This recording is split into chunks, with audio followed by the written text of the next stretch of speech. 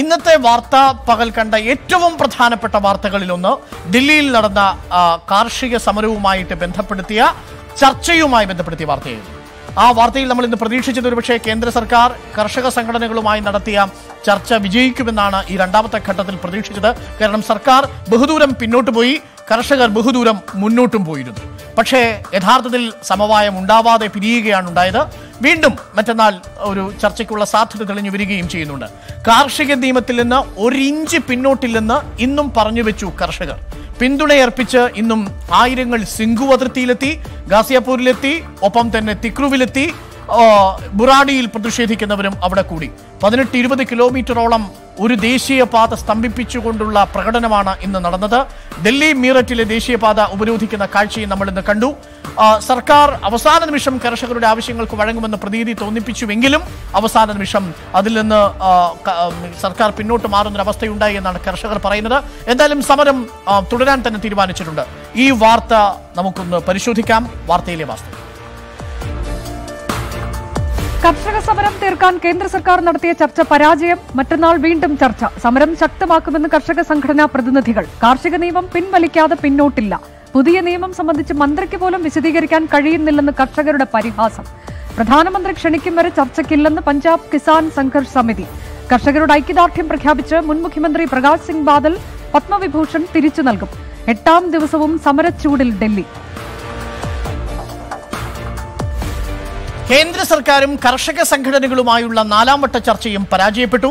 നിയമത്തിൽ ഭേദഗതി കൊണ്ടുവരാമെന്ന കേന്ദ്ര സർക്കാർ നിർദ്ദേശം കർഷക സംഘടനകൾ അംഗീകരിച്ചില്ല. മിനിമം സപ്പോർട്ട് പ്രൈസാണ്. ഇപ്പോൾ കർഷകരും ഒപ്പം തന്നെ സർക്കാരും തമ്മിലുള്ള ഏറ്റവും പ്രധാനപ്പെട്ട ചർച്ചയിലെ തടസ്സമായി നിൽക്കുന്ന പ്രധാനപ്പെട്ട വിഷയം. ഇതിൽ കേന്ദ്ര സർക്കാർ പ്രത്യേകിച്ച് കേന്ദ്രമന്ത്രി നരേന്ദ്രസിംഗ് തോമർ ഈ കാര്യം വിശദീകരിക്കാൻ വിദഗ്ധനെ ക്ഷണിച്ചപ്പോൾ കർഷകർ പറഞ്ഞത് വിദഗ്ധൻ വിശദീകരിക്കേണ്ട മന്ത്രിക്ക് അറിയാമെങ്കിൽ വിശദീകരിച്ചാൽ മതിയെന്നാണ്. അതേസമയം ഡൽഹി അതിർത്തിയുടെ കൂടുതൽ മേഖലകളിൽ പ്രക്ഷോഭകർ സംഘടിച്ചെത്തുന്ന കാഴ്ചയും ഇന്ന് നമ്മൾ കണ്ടു. റിപ്പോർട്ടിലേക്ക്. ഏഴ് മണിക്കൂറിലേറെ നീണ്ടുനിന്ന ഇന്നത്തെ ചർച്ചയിലും കാര്യമായ വഴിത്തിരിവുണ്ടായില്ല. താങ്ങുവിലയെ സംബന്ധിച്ച് ആശങ്ക വേണ്ടെന്ന് കേന്ദ്രമന്ത്രിമാരായ പീയൂഷ് ഗോയലും നരേന്ദ്രസിംഗ് തോമറും വ്യക്തമാക്കി.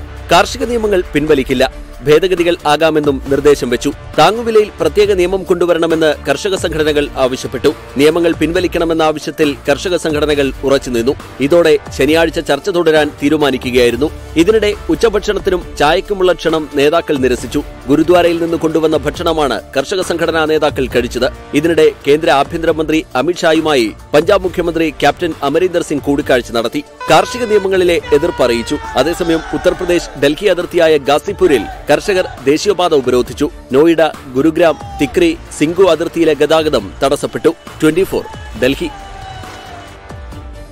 ഈ കഴിഞ്ഞ ആറ് ഏഴ് ദിവസങ്ങളായി കേന്ദ്ര സർക്കാരും കർഷക സംഘടനകളുമായുള്ള ചർച്ച പരാജയപ്പെടുന്ന ഓരോ വേളയിലും വളരെ ശൈത്യം നിറഞ്ഞ ഈ ദേശീയപാതയിൽ നിന്നുകൊണ്ട് ഞങ്ങൾക്കൊപ്പം റിപ്പോർട്ട് ചെയ്യുകയാണ് പ്രദീപ്. ആവേശം കുറയാതെ കർഷകർ പ്രക്ഷോഭത്തിന്റെ പാതയിലാണ് ഞങ്ങളുടെ പ്രതിനിധിയായ പ്രദീപും അർദ്ധരാത്രിയിലും ഈ പരിസരത്ത് നിന്നും റിപ്പോർട്ട് ചെയ്തുകൊണ്ടിരിക്കുന്നു. ട്വന്റി ഫോറിന് വേണ്ടി ഭീമാർമി നേതാവ് ചന്ദ്രശേഖർ ആസാദ് സിംഗു അതിർത്തിയിലെത്തിയത് വളരെ പ്രധാനപ്പെട്ട വാർത്തയായിരുന്നു. പഞ്ചാബിലെയും ഹരിയാനയിലെയും കർഷകരുടെ മാത്രം പ്രതിഷേധമല്ലെന്നും രാജ്യത്തിന്റെ പ്രക്ഷോഭമാണെന്നും ചന്ദ്രശേഖർ ആസാദ് പറഞ്ഞു. നൂറുകണക്കിന് കർഷകർ ഇപ്പോഴും ഡൽഹിയുടെ അതിർത്തികളിലേക്ക് എത്തിക്കൊണ്ടിരിക്കുകയാണ്. സിംഗു അതിർത്തിയിൽ നിന്ന് ഈ അർദ്ധരാത്രിയിൽ എം പി പ്രദീപ് കുമാർ നമുക്കൊപ്പം ചേരുന്നു. അവിടെ അത് ശൈത്യമാണ് എങ്കിൽ പോലും ആ ശൈത്യത്തെ തോൽപ്പിക്കുന്ന ചൂടാ സമരത്തിനുണ്ടെന്ന് പ്രദീപ് നമ്മളോട് പറയുക കൂടി ചെയ്യുന്നു. Good evening Pradeep. Good evening Arunkumar. ഇന്നിപ്പോൾ കേന്ദ്ര സർക്കാരും കർഷക നേതാക്കളുമായുള്ള ചർച്ച പരാജയപ്പെട്ടെങ്കിലും ചർച്ച ഇനിയും തുടരുമെന്ന് തന്നെയാണ് വ്യക്തമാക്കിയിട്ടുള്ളത്. കാരണം ശനിയാഴ്ച വീണ്ടും ചർച്ച തുടരുമെന്നാണ് ഇപ്പോൾ വ്യക്തമാക്കിയിട്ടുള്ളത്. എന്തായാലും ചർച്ചയും സമരവും എന്ന നിലപാടിൽ തന്നെയാണ് ഇപ്പോഴും കർഷക സംഘടനകൾ ഉറച്ചു നിൽക്കുന്നത്. കർഷകർ ഉറച്ചു നിൽക്കുന്നത്. ഞാനിപ്പോൾ നിൽക്കുന്ന ഈ ഡൽഹി ഹരിയാന അതിർത്തിയിൽ അതിർത്തിയായ സിംഗുവിൽ ഇപ്പോഴും വലിയ തോതിൽ തന്നെ പ്രക്ഷോഭം തുടരുകയാണ്. നൂറുകണക്കിന് കർഷകർ ഇന്നും ഇവിടേക്ക് എത്തിച്ചേർന്നു. മാത്രമല്ല ട്രാക്ടറുകളിലടക്കമാണ് ഇവർ ഇവിടെ എത്തിച്ചേർന്നത്. ഈ രാത്രിയിലും ഇവർ ഈ പറഞ്ഞതുപോലെ ഇവിടുത്തെ കടുത്ത ശൈത്യമാണ്. എങ്കിൽ പോലും അതിലൊന്നും തന്നെ പതരാതെ അതിലൊന്നും തന്നെ ബുദ്ധിമുട്ടാതെ അവരിപ്പോൾ ഈ ഒരു ഒരേ ഒരു ലക്ഷ്യം അതായത് കാർഷിക നിയമങ്ങൾ പിൻവലിക്കണം എന്ന ആവശ്യവുമായി മാത്രം ഇന്ന് ഇവർ ഇവിടെ നിലയുറപ്പിച്ചിരിക്കുകയാണ്. നമുക്ക് ഈ ദൃശ്യങ്ങൾ കാണാൻ സാധിക്കും. രാത്രി ഇവർ ഇവിടെ ഈ ഒരു ടെന്റ് കെട്ടിയിട്ടുണ്ട്. അതിലിപ്പോൾ ഉറങ്ങാനുള്ള ശ്രമത്തിൽ ചിലർ പോകുന്നു. ചിലർ ചെറുതായിട്ട് ഉറക്കം പിടിച്ചിരിക്കുന്നു. എന്തായാലും അതുപോലെ ഇന്ന് നടന്ന സമരത്തിന്റെ വിശദാംശങ്ങളും കാര്യങ്ങളും ഇപ്പോൾ ഈ ഒരു മീറ്റിങ്ങിലുണ്ടായ കാര്യങ്ങളും എല്ലാം തന്നെ ഇവർ ചർച്ച ചെയ്യുന്നു എന്നുള്ളതൊക്കെയാണ് നമുക്ക് ഈ ഒരു രാത്രി ഇവിടെ നിന്ന് കാണുന്ന ഈ ഒരു കാഴ്ചകൾ നമുക്ക് കാണുന്നത്. അതുപോലെ ഒരു വശത്ത് ഭക്ഷണ വിതരണം നടക്കുന്നു. അതുപോലെ ഇനി ഇനി ഒരിടത്ത് നമ്മൾ കാണിക്കുന്ന ഇനി ഇപ്പോൾ കാണിക്കുന്നതാണ് ഇവിടെ ഭക്ഷണ വിതരണം നടക്കുന്ന ബംഗാർ നടന്നുകൊണ്ടിരിക്കുന്നു.